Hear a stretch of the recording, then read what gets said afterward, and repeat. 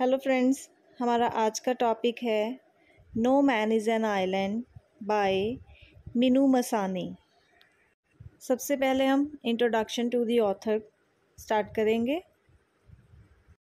Minoo Masani was born in 1905 he was a Parsi political leader from Rajkot he took an active part in India struggle for freedom So he was born in 1905. He was a great parliamentarian and a member of the Constituent Assembly. He was Free India's most outstanding liberal. He was Free India's most outstanding liberal. He was a barrister trained in London. He joined the freedom struggle with the Quit India movement. He was the first to develop Indian political theories. He was a barrister trained in London. He joined the freedom struggle with the Quit India movement. Masani was the author of the popular book Our India. It is an all time bestseller. It was a prescribed textbook in school even before the independence of India. He believed in a mixed economy in a free and open society. He delivered a series of lectures in 1947 to the School of Economics of the Bombay University. So he delivered a series of lectures in 1947. Freedom First was the magazine edited by him. He opposed the emergency in India and went to court against censorship of the press. He loved the company of the young people. His first and last books were written for the young. So let's start with summary of the essay. It is the essay Minoo Masani gives a very broad vision of the future of mankind. He believes that the future race will be a better and more intelligent race. It is the essay Minoo Masani gives a very broad vision of the future of mankind. He believes that the future race will be a better and more intelligent race. It will merge all states and empires into a world federation. It will work for a fuller and richer life for each human being. A Sanskrit verse has helped us to become better men. A Sanskrit verse has helped us to become better men. It teaches the lesson of service and sacrifice.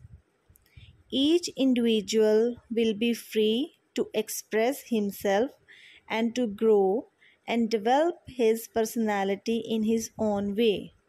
So, it teaches the lesson of service and sacrifice. Each individual will be free to express himself and to grow and develop his personality in his own way. Alexander Pope says that only fools quarrel over the forms of government. He gives the first place to efficiency. Only the wearer knows where the shoe pinches. People are the best judges of a government. They should decide which kind of political shoe they want to wear. People are the best judges of a government they should decide which kind of political shoe they want to wear. A good government should serve the greatest good of the greatest number.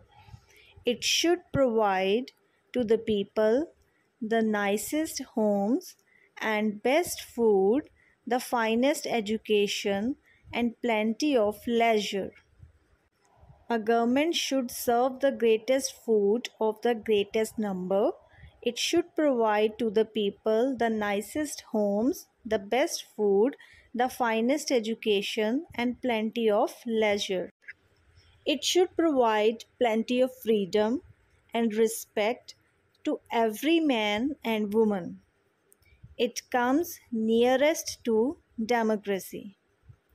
It should provide plenty of freedom and respect to every man and woman. It comes nearest to democracy. Abraham Lincoln has defined democracy as the government of the people, for the people, and by the people. The government is responsible to the people. Abraham Lincoln has defined democracy as the government of the people, for the people, and by the people. The government is responsible to the people. Very easy language, you just try to understand. It can be replaced by another if the majority of the people so desire. It works for the greatest good of the greatest number. It can be replaced by another if the majority of the people so desire. It works for the greatest good of the greatest number. It aims at providing liberty, equality, widespread education, and a rising standard of living. The success of a democracy depends upon the wisdom or foolishness of the common people. It aims at providing liberty, equality, widespread education, and a rising standard of living. The success of a democracy depends upon the wisdom. In this sense, it is said that a nation gets the type of government it deserves. In this sense, it is said that a nation gets the type of government it deserves. In dictatorship, the government has total control over the lives of the people. It is one man rule. He dictates and orders everything. In dictatorship, the government has total control over the lives of the people. It is one man rule. He dictates and orders everything. Very easy language बिना Hindi translation के आप इसे समझने की कोशिश कीजिए his will is the law he can do no wrong the state ऑन्स and runs industries all opposition is destroyed by force or death. The common man has no freedom to speak, write, or think. All opposition is destroyed by force or death. The common man has no freedom to speak, write, or think. The dictator is all powerful. Dictator is all powerful.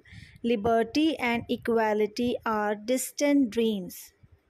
Everything is lost and nothing is gained in dictatorship इस ऐसे को, इस chapter को मैंने हिंदी में translate नहीं किया है, क्योंकि ये बहुत ही इजी लैंग्वेज है और आप धीरे धीरे इसी तरह से अगर पढ़ेंगे तो आपको हिंदी ट्रांसलेशन की ज़रूरत नहीं पड़ेगी। आई होप आप इसको, इस वीडियो को बार बार सुनेंगे ताकि आपको इंग्लिश टू इंग्लिश समझने की हैबिट हो जाए।